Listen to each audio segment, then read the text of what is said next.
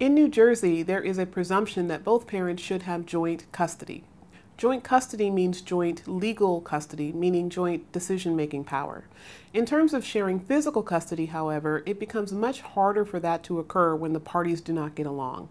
In fact, the first custody factor in our custody statute is the parent's ability to communicate and cooperate for the benefit of the child.